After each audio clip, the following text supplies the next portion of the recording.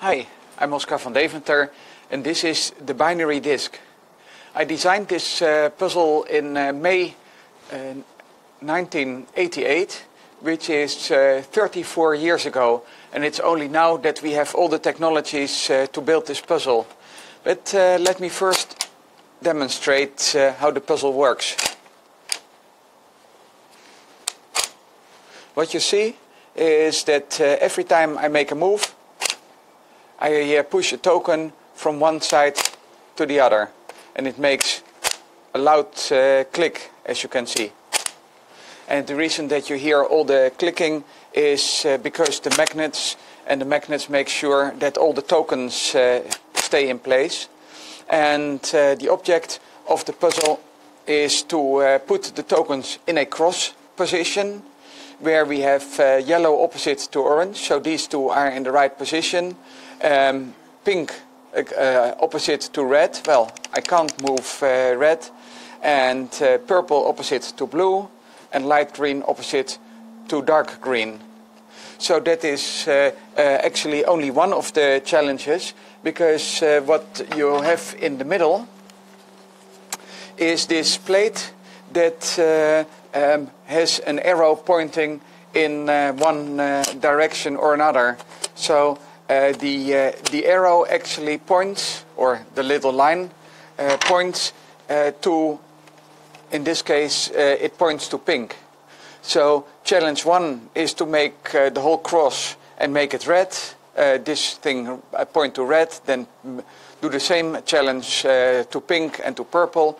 So you have a whole bunch of uh, different uh, challenges here. And I can tell you the puzzle is far from obvious to solve but it's really uh, very satisfying to play and to see where all the pieces go.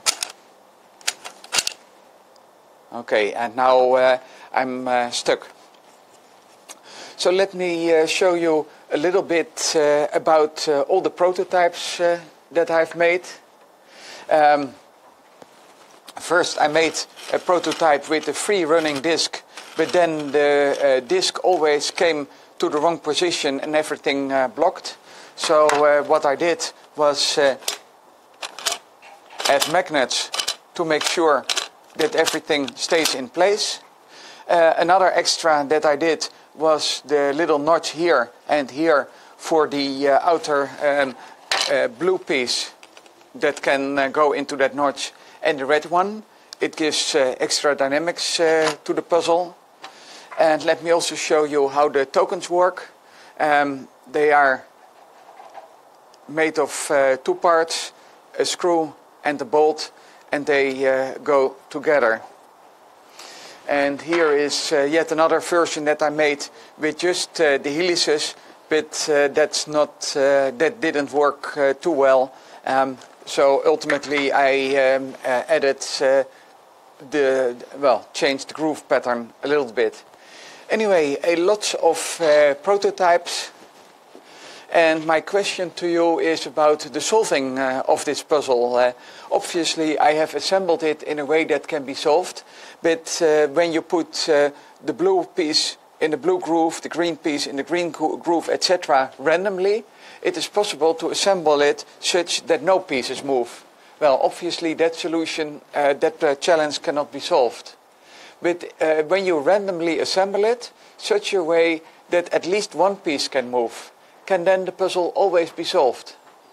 Thank you for watching.